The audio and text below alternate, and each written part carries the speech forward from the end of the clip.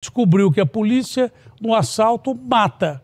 Antes de morrer, ele matou. Vamos ver aí na tela da Band, um dia da caça, outro do caçador, e a assombração apareceu para quem não devia. Agora é a matéria da Carla Rabiu. Põe na tela, Claudinho.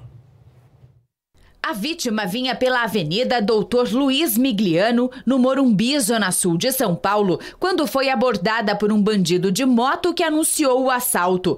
O suspeito, disfarçado de entregador de comida por aplicativo, carregava uma bag. Datena, o que o criminoso não esperava era que a vítima fosse um policial civil. Armado, o investigador reagiu ao assalto e baleou o assaltante. Foram três disparos na região região do peito. Após os disparos, a moto ficou caída ao lado do carro do policial.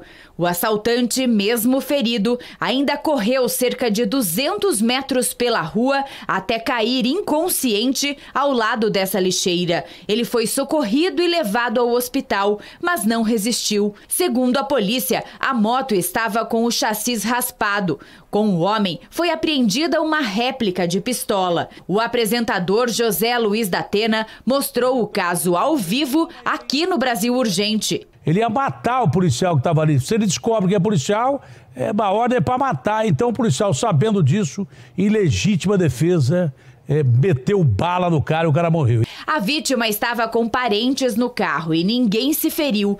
Nesse áudio, o investigador pede ajuda aos colegas. Eu estou pela Guilherme Dumont Vilares, é, tentativa de assalto aqui. Uma ala jogou a, a arma no chão e, e a moto está caída aqui no chão. Quem puder me dar um apoio, eu vou fazer um 90.